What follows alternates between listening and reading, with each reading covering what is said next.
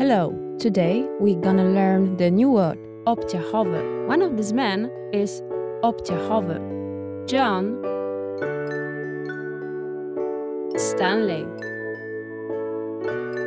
You think it's John? No, it's Stanley, because he's driving like a jerk.